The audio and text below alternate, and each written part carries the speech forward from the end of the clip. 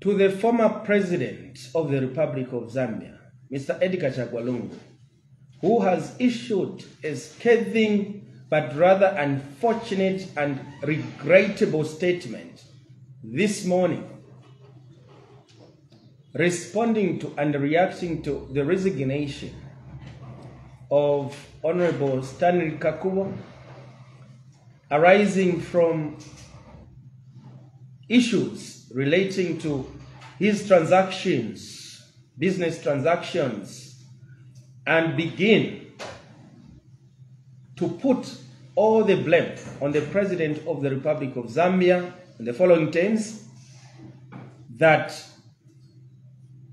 the President merely thanked Honorable Kakubo instead of inviting law enforcing agencies to take action.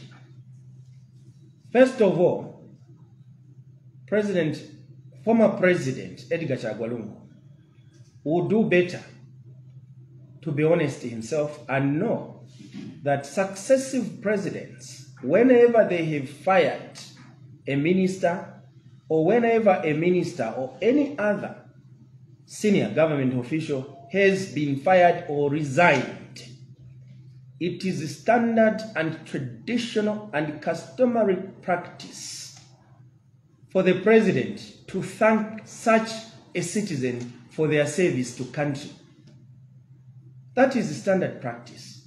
So there is nothing anomalous by President HH thanking the service of Honorable Kakubo to his country because these are the precedents that have been set by all successive presidents.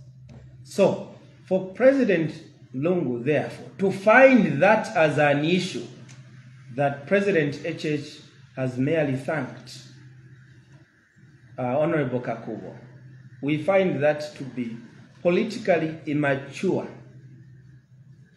We expect him, as former president, to do politics that is of a higher level, but maybe we are asking for too much because he can only give what he is capable of giving and nothing more or less. President, former President Edgar Chagwa Lungu has also alleged that uh, last year in April, when there were social media allegations of Honorable Kakubo uh, relating to some transactions of receiving certain gifts from the Chinese, that President HH declared him innocent and not the ACC. Again, we find this highly misplaced because it is neither the duty of a president nor the Anti Corruption Commission to declare any citizen or indeed any suspect to be innocent. That is the province and jurisdiction of the courts of law. Anti-Corruption Commission is an investigative and arresting agency who whose job is to find a suspect and present before the courts of law who will adjudicate as to their innocence and or culpability of omission or commission of an offense and not a head of state. So whoever wrote this speech again for President Edgar, former President Edgar Chagwa shows that they are a group that do not understand governance and how and what the duties of a president are. Anyway, it is understandable.